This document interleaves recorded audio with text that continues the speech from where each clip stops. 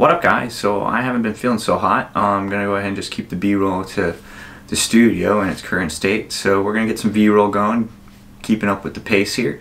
Hopefully you guys enjoy. Don't forget to hit that subscribe button and hit the little bell to get notifications so you'll know when we drop a new video because I'm trying to do my best to get one out every day and we're trying to get our subscriber base up so please hit that subscribe button.